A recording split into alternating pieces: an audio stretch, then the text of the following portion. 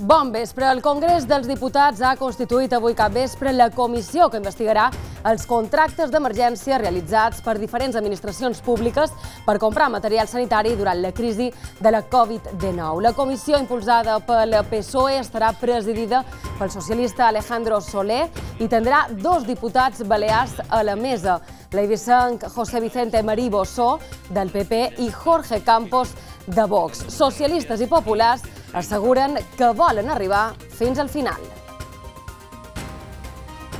Que den las explicaciones que faltan por los casos que ya tocan y afectan a la mitad del gobierno, a la mitad del Partido Socialista y veremos a qué parte de la Moncloa. Que se clarifique todo lo que ha tenido que ver con la compra de material sanitario en tiempos de pandemia, no solo por parte de la Administración General, sino por parte de otras administraciones. I aquest mes de març, Balears ha liderat la davallada de l'atur a tot Espanya. La xifra de desocupats està per davall dels 30.000. És la primera vegada que s'aconsegueix aquesta dada en aquesta època de l'any. Margalida Vidal. Aquest, eh, aquest mes de març les empreses turístiques han estimulat el mercat laboral. Moltes han avançat la seva obertura per fer-la coincidir en la Setmana Santa que enguany ha caigut més prest. I per donar continuïtat a l'inici de la temporada, iniciatives com un campionat d'escacs que omple els hotels de Ciutadella. Carles Marquès.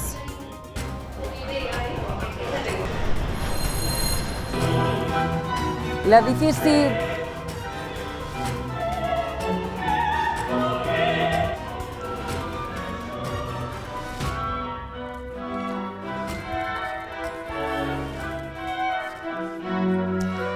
L'Orquestra de Cambra de Mallorca prepara la Passió segons Sant Mateu de Bach.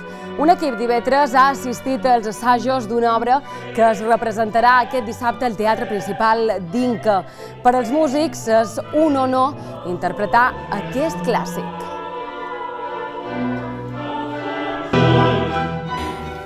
Una obra monumental, diria.